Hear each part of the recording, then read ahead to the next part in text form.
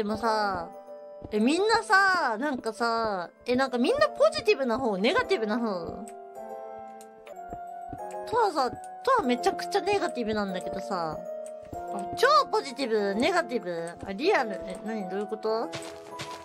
ネガティブ？適当に生きてるからポジティブ？職業柄ネガティブ？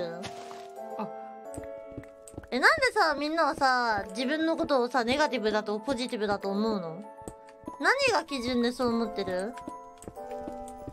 え、トアはなんでネガティブかっていうと、やっぱりなんかその、なんだろう。うん、ちょっと連絡が来ないだけで、あ、嫌われてんじゃないかなって思ったりとかしちゃうって感じ。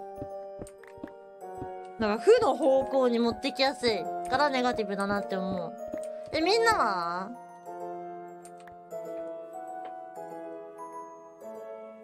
嫌なことがあっても寝たら忘れるからポジティブってこと？あまり人のことを気にしない。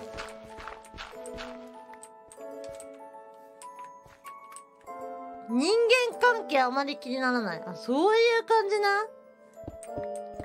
え、でもさ、とはさ、あのね、最近感触を起こすって言ったじゃん。感触を起こすっていうか、え、すごい、夜景が綺麗だが。え、なんか納得ができないことがあると、イライラしちゃうんだよな。納得ができないっていうか、うん、なんだろう。な、うーん、なんか、別になんか納得できればイライラしないんだけど、納得できないとイライラする。え、わかる？あ、おねんねした。おねんね、やべ。痛いえ、なんかさ、なんでそれ共有しない？みたいなことあるとイライラしちゃう。